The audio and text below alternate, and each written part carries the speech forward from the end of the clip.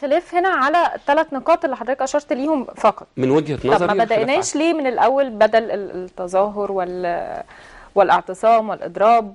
ما بدأناش بالحوار ده ليه؟ اتبدأ بالحوار واتبدأت بالاعتراضات و مع مين؟ يعني حضرتك بتقول عايز حوار على آه، مشروع المحامين قانون عملوا المحامين عملوا بيان إن هم معترضين على ده وطلبوا إن هم يقعدوا مع المجلس الأعلى آه، للقضاء. وللأسف لما ما حصلش دوت بدأ بعض الانفلات من بعض الموجودين. زي ما حصل في الجمعية العمومية. إيه اللي حصل في الجمعية العمومية؟ القضاء عاملين جمعية عمومية في دار القضاء العالي. راح حوالي 10 15 محامي يرفعوا لافتات إن هم محتجين على تمسك القضاء بالمادة 18 وفوجئنا إن حصل طلع وكلاء النيابة وطلع قضاة يعني هم منعقدين في الداخل. الضرب حصل في الشارع. يعني مين اللي خرج للشارع وضرب؟ القضاة ووكلاء النيابة خرجوا واشتبكوا مع المحامين وأطلقوا نار في الهواء وأحد وكلاء النيابة قام بالاعتداء على محامي بكعب آه، طبنجة مما آه، أصابه في في وجهه. يعني لما ده بيتم بين قضاة ووكلاء نيابة ومحامين إحنا عايزين ننتظر من الشارع إيه؟ ما يحدث لابد أن يتوقف ولابد أن يراجع الجميع تصرفاته. ما يحدث خطر على المحاماة وخطر على القضاء وخطر على العدالة. وأنا أؤكد مرة أخرى أنا وغيري من المحامين وهناك العديد من القضاة لا يرضى بهذا السلوك من الطرفين. لابد أن يكون هناك عقلاء يتدخلوا لوضع الأمور في نصابها السليم والعادل من أجل تحقيق العدالة وليس من أجل مصالح حضرتك بتقول شخصية. لابد من وجود عقلاء لازم يتدخلوا. المقصود بي- بيهم مين؟ المقصود مين بي- الطرف اللي ممكن. يتدخل لحل نزاع بين محامي وقاضي؟ والله في أطراف لا في أطراف كتيرة. لا أنا بقى طالب, طالب من الطرفين. في أطراف كتيرة ممكن تتدخل في هذا الأمر ومجرد محاولة امتصاص الغضب و و و وال وال والحالة التي أصبحت ما بين الطرفين محاولة ام- امتصاصها ممكن تخلينا نقعد على ترابيزة المفاوضات مع بعض. أعتقد إن المستشار زكريا عبد العزيز قادر على لعب هذا الدور. المستشار أشرف البارودي قادر على لعب هذا الدور. هناك العديد من شيوخ المهنة قادرين على لعب هذا الدور. وإذا طرح على المحامين وأنا أقول ذلك إذا طرح على المحامين فكرة تعالوا نشوف نعدل المادة 18 إزاي ونعدل المواد اللي أنتوا عايزينها إزاي أعتقد إن كل المحامين هيستجيبوا هذا الأمر. الاستاذ سامع عاشور الاستاذ منتصر الزيات الاستاذ مختار نوح الاستاذ محمد كامل دول المرشحين لانتخابات نقابة ال- المحامين كنقباء والعديد من المحامين هيستجيبوا لهذا الأمر. وأعتقد إنها لحظة مهمة إن إحنا نسمع صوت العقل فيها. طب حضرتك متخيل المشكلة دي هتفضل قائمة لإمتى؟ لعن الله الانتخابات في نادي القضاة والانتخابات في نقابة المحامين إن إدارة هذه الأزمة تتم على صدى الانتخابات وتتم على صدى بطولات انتخابية زائفة. أتمنى إن إحنا نتجاوزها. والناس بقى المتخوفة جدا ومقتنعة وفي ناس مقتنعة فعلا إن كل الأزمة دي هي مجرد مسرحية لتأجيل الانتخابات البرلمانية وإن اللي هيكون السبب فيها فعلا هيكون القضاة والمحامين. آه، أعتقد إن تخوفات الناس تخوفات منطقية وأنا مش يعني مش مستبعد آه، مثل هذا الأمر. اللي إحنا شايفينه إنه نجح النظام الحاكم في إنه يعمل فرقة ما بين كل قوى الثورة والآن الفرقة ما بين المحامين والقضاة.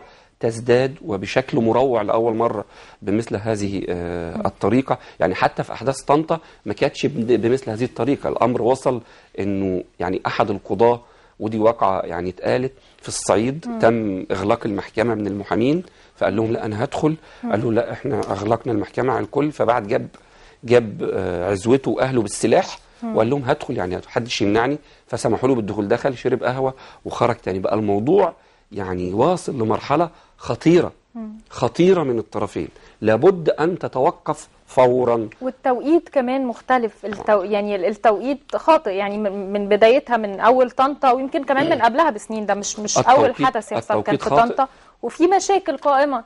طبعا. ليه ليه اشمعنى الوقت ده بالذات؟ لا المشاكل قائمه والوقت ده بالذات عشان تعديل المادة 18 اللي يعني يعني في تعديل المادة 18 من شهور برضه. لا لا ما أنا بتكلم في تعديل المادة 18 اللي هي ادت تخوف العديد من المحامين في هذا الأمر. لكن أنا بقول 18 وبقول المادة بتاعت نسبة الغرامات وبقول المادة بتاعت التوريث.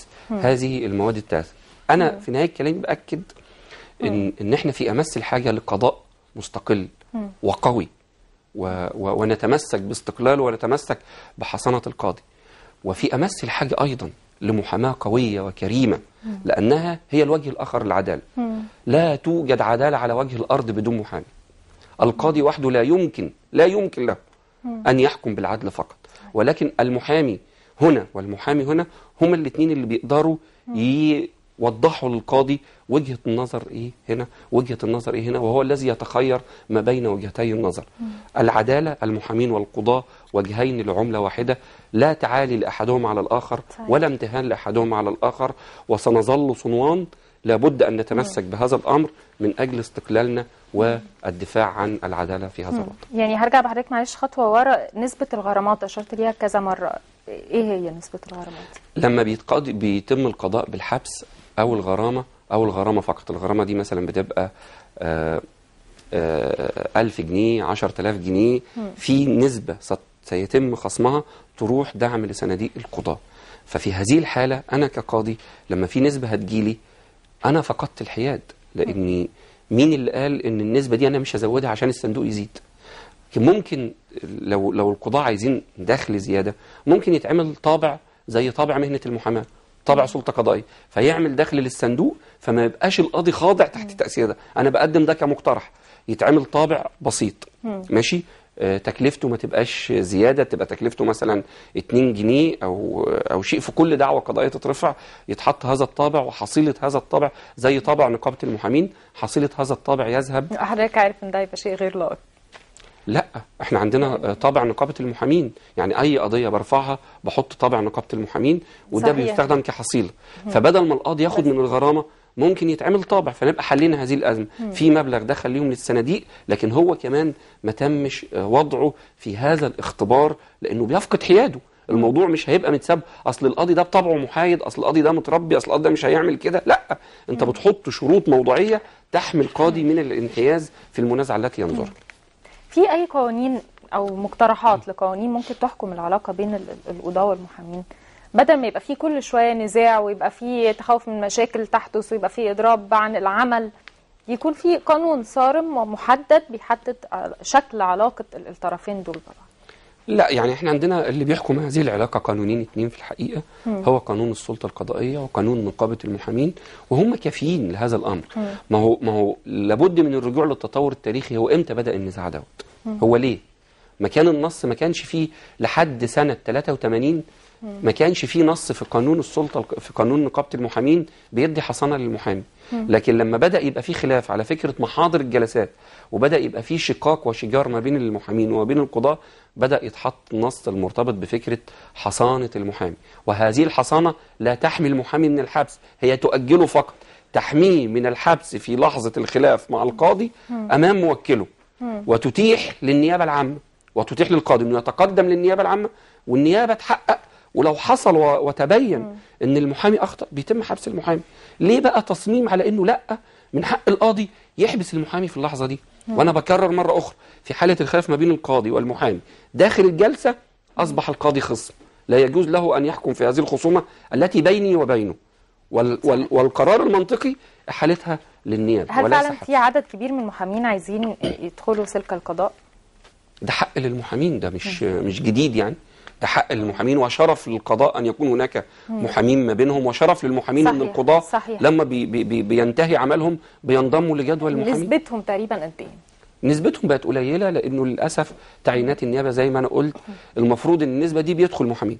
ففي النهاية بيتقدم أبناء المستشارين اللي ما خدوش تقدير على اعتبار إنهم مقيدين في النقابه في التصفية في الحقيقة اللي بيدخل أبناء المستشارين وليس المحامين اعترض البعض قبل كده ولا دي أول مرة يعترضوا؟ لا لا لا لا, لا. حصل. يعني محامي خير من يدافع عن نفسه. لا اعترض اعترض وفي دعاوى قضائية مرفوعة بإلزامهم بتطبيق نص المادة وتعيين نسبة من المحامين. فهم بيقولوا ما إحنا بنعين نسبة من المحامين بس هو الطريقة طريقة الاختيار لأن في كشف طبي وفي كشف هيئة وفي مقابلة شخصية وفي النهاية بيتم التحكم في الأمر. متوقع إيه اللي هيحصل في الانتخابات البرلمانية؟ آه مع ربنا- العلم إن أكيد ما يعني منشور النهارده في عدد من الصحف إن بعض المحامين بيطالبوا المجلس العسكري إنه يشرف على الانتخابات. لا أنا أرفض ده تماما وأنا مع إنهاء الأزمة ما بين المحامين والقضاة فورا وإن القضاة هم اللي يشرفوا آه، على الانتخابات وإنه لابد إن الطرفين يتوقفوا عن آه، استخدام الصلاحيات التي مكنها منهم المجتمع. ومنحها إياهم من أجل الثقة فيهم ومن أجل آه، استقلالهم إن إحنا نستخدمها في المصالح العامة. أنا مع إن القضاة هم اللي يشرفوا على الانتخابات و- وإن دي ضمانة لكل أبناء هذا الوطن إن القضاة هم اللي بيشرفوا على الانتخابات وإن كل هذا الصراع لابد إنه آه، يتوقف لأنه في الحقيقة مفيش أي داعي ليه وممكن بصوت العقل تتعمل لجنة ما بين الطرفين ونتفق على مثل هذه الأمور.